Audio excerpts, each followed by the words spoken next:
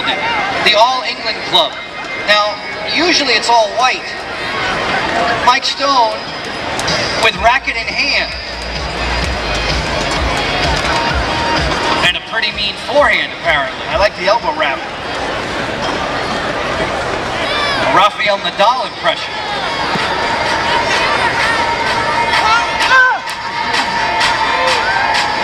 Including the grunt on the first serve. Wide. It's a fault. Second serve.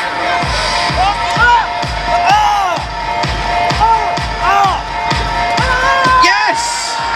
A winning volley for Mike Stone. And, like all Grand Slam champions, autographs for the fans, making friends with those in the crowd, earns you points in the lacrosse freestyle. Look, throwing the hat, the wristbands.